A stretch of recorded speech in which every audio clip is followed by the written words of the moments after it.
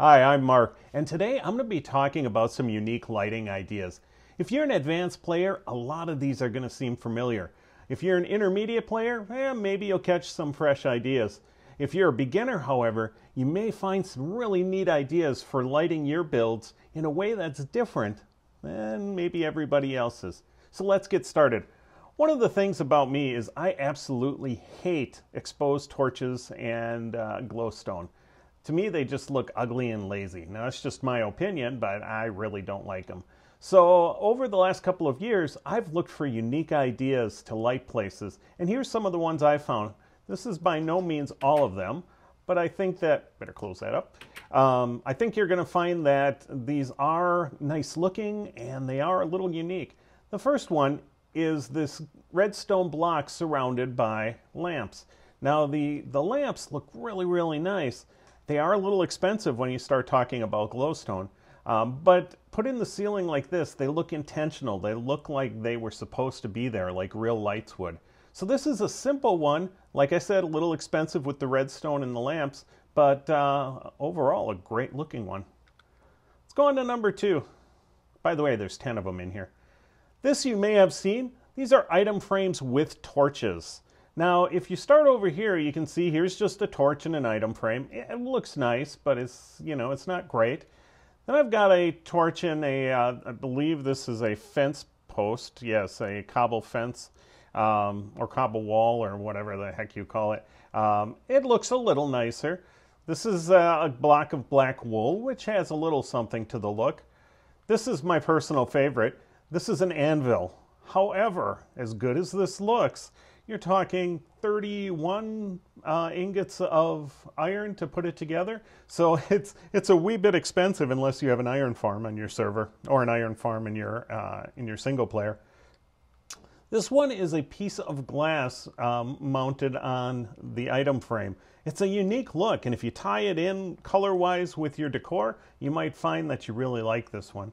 And finally, the last one is a block of wood, and this too is tied into the decor, so it looks finished, it looks nice. Um, but you can try just about any block in there and find something that really looks nice for you. Moving on to number three, these are staircase lights. If you notice there's an exposed piece of glowstone there, yeah, I'm willing to accept a little bit of exposed glowstone. You could put redstone lamps in there. Uh, however, again, that's going to get expensive, but they do look a lot nicer. Uh, they're in the wall behind each of the staircases, and they show just that little corner piece. Now, be aware they don't light as good as um, a lot of other lighting ways because you're losing some of the uh, some of the amount of light to the staircases. For example, I put the carpeting in here to keep mobs from spawning and cheated a little by putting in carpet over the top of a torch. And I'll show you this one in just a few seconds. But this lights this up much better. If you watch, I get rid of this and it gets dark in a hurry. So you can see the nice accent lighting of those stairs, but I wouldn't use this as my primary lighting source. Let me put a torch back in there quick before something starts spawning. I've had a real issue on here with slimes, and I'm not sure why. All right, so moving on. This next one is bushes in the ground. If you take a look, there's a torch down here. It could just as easily be a jack-o'-lantern, or it could be um, a glowstone or a redstone lamp. Uh, torches are cheap, they're easy. And then the leaves that are over the top, those are jungle leaves. I found those to be the best looking of the group. They tend to be the densest, um, but you can use uh, any leaves you want to put in there. And it's just a, it's a nice outdoor lighting that looks halfway decent. I'm not a huge fan of it, however. Um, there are ways that I think seem a little more inspired and look a little more intentional than this way.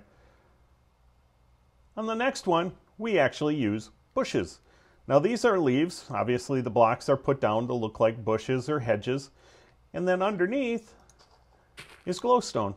You can barely see it through here, and it does a nice job of lighting without any fall off, which is really great. You don't lose that lighting like you did on the staircase one. In the next one here, got a similar idea, but instead we use glass.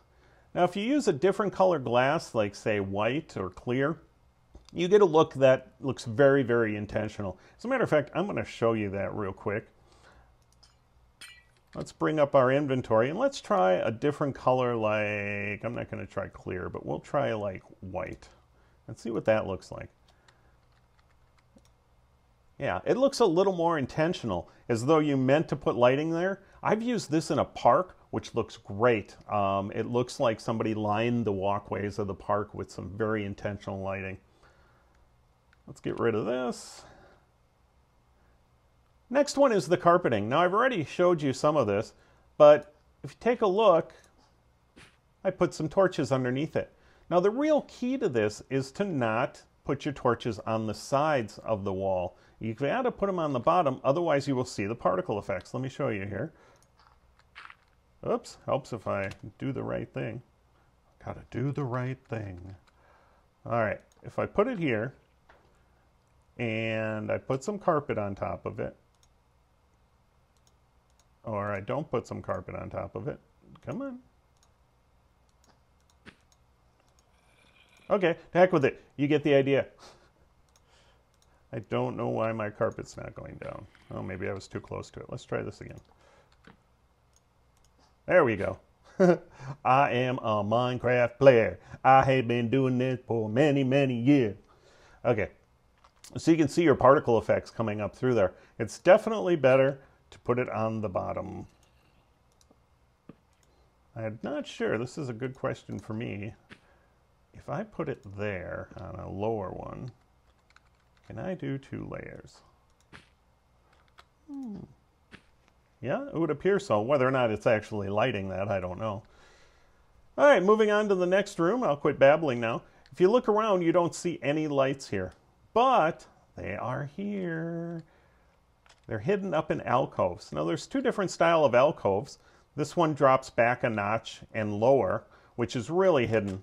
If you're on the floor here, you can't see that at all. This other one is got just a setback. If you get back like here, you can see those flames peeking through. These alcoves are nice. The only trouble with this style is that, again, it doesn't give a lot of light. So it's a nice accent lighting, looks cool around the, the tops of rooms, but overall, it's not the brightest. Uh, uh, it's not the brightest thing you could have. Kind of like me. These tend to light things up a lot better, however, they're a little more visible. So it really is up to you on what you're trying to accomplish. This next room I used alcoves. Now alcoves are pretty lazy, uh, quite honestly, but they do have a better look than uh, just throwing a torch on the wall. I mean, if you got to look, which one looks nicer? You can put the item frames in there and really make these look a lot nicer. Uh, again, it gets back to looking intentional. You want your lighting to look like somebody didn't just throw torches up there, like somebody thought about it and went in and said, I want some really cool lighting here, just like you would in your own house. Let's get rid of that, it's ugly. And finally, the last one. Oops. I didn't even think about the fact that I had built this all out of wood.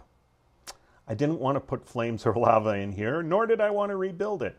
So don't forget about flames and lava as lighting tools.